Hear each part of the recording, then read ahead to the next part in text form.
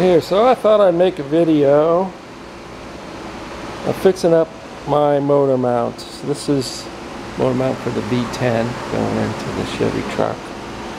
And this is the driver's side.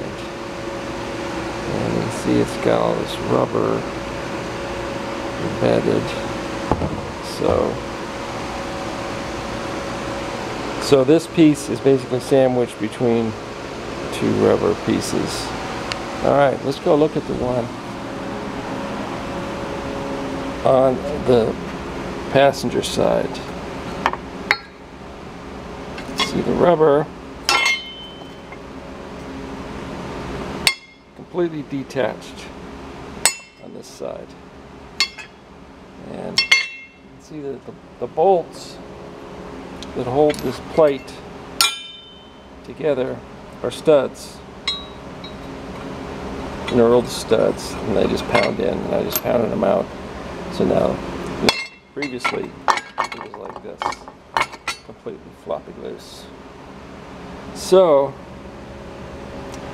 I've tried to, uh, I tried to, to look up, see if I can buy one, a new one, and they don't seem to sell them. They sell them for the V6s, or not the V6, they sell them for the V8s, but not the V10s. And in one case I actually saw the, the driver's side, but not the passenger side. And when I go to the Ford dealer, they sell these individual pieces. They don't sell the completed units, so I'm thinking they expect you to make it, fix it yourself. So, so that's what I'm doing.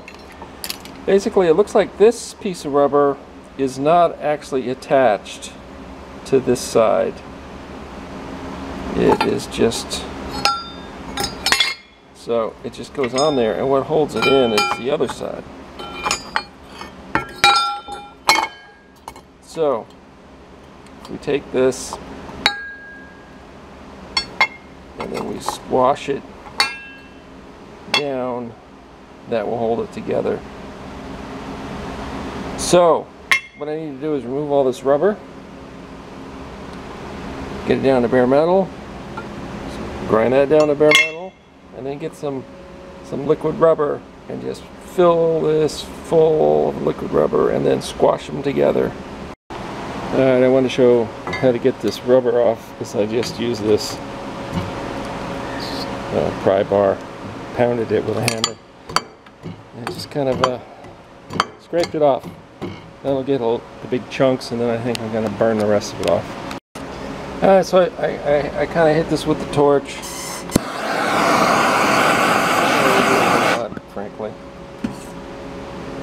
What it does is it ends up it ends up burning the, the top of it and then it then it stops. It, it, it doesn't burn anymore so. Yeah, it took a little bit off but I'm going to just grind it. So you can see I did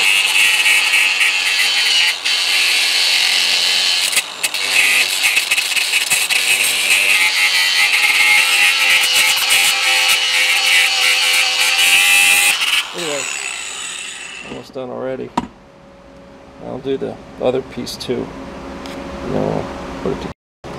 Okay, so this is stuff we're going to use here.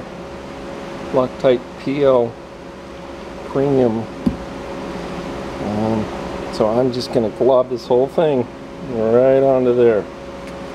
Alright. So this episode is brought to you by the Ryobi caulk gun. Ryobi seems to have everything now.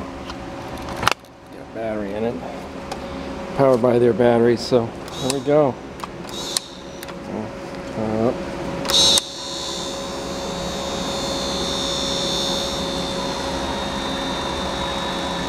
Oh, I thought it was black.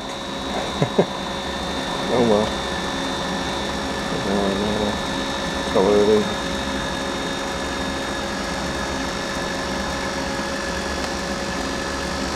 Here too.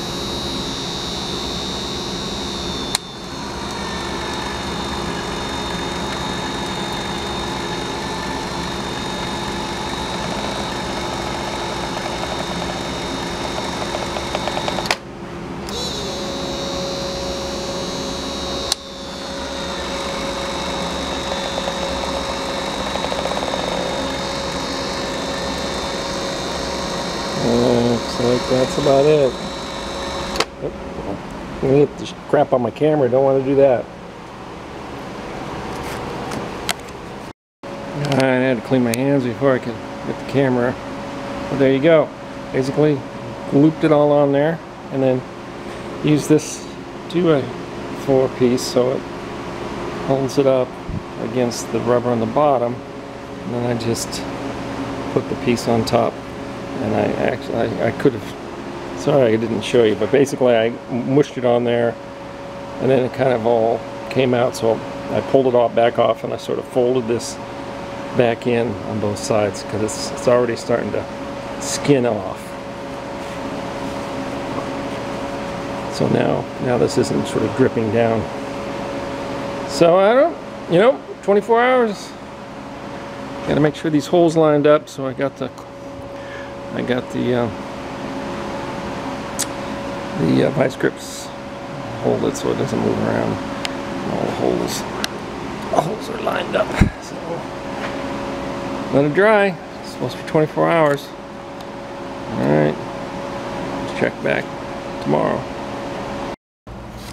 Okay so it's the next day.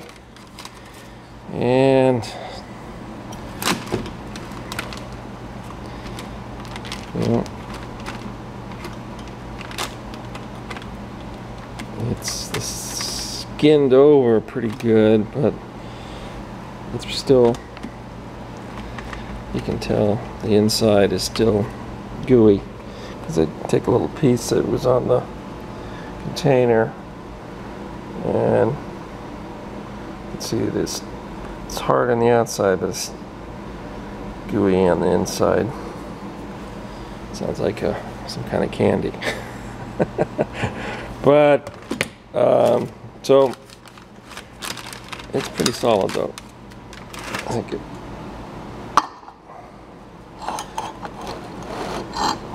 can take this off now. Don't need that anymore.